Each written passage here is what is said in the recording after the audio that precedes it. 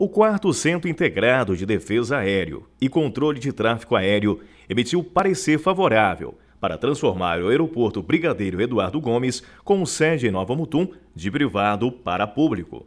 A Prefeitura havia ingressado com esse pedido para que o aeroporto pudesse iniciar a operação de voos comerciais. É importante porque nós estamos, o município está trabalhando há dois anos já para buscando essa, junto com a ANAC, para viabilizar voos comerciais. Então, felizmente agora, na última sexta-feira, o Sindacta de Manaus acabou então concedendo para nós o parecer favorável para que a gente use o espaço aéreo aqui do município.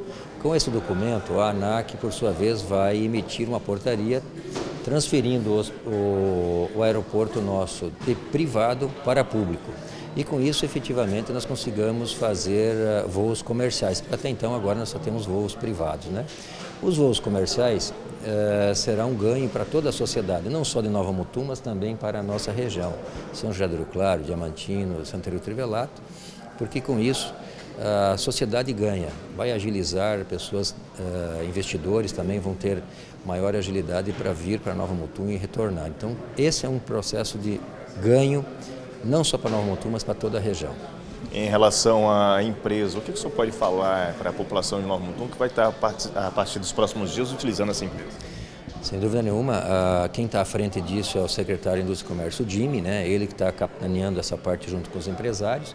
Então agora efetivamente deve retornar esse movimento de venda dos pacotes uh, para que efetivamente tanto os empresários, industriários de Nova Mutum consigam então fazer uh, essa movimentação daqui a Cuiabá, daqui a Brasília, enfim, tem vários negócios que acontece isso diariamente, então é importante que a pessoa saia daqui e consiga de repente voltar até no mesmo dia ou no dia seguinte. Então isso é um grande ganho, sem considerar que nós temos um problema hoje sério na questão das rodovias.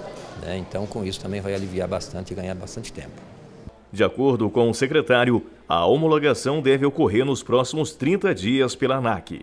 Nós acreditamos agora que em 30 dias a gente consiga ter já a portaria da ANAC de privado para público. Posteriormente a essa data, efetivamente já está liberado para fazer esses voos comerciais. Então acreditamos nós que 30 dias a 40 dias no máximo a gente já tenha isso resolvido. Importante frisar que o aeroporto de Novo Mutum já está preparado já há algum tempo.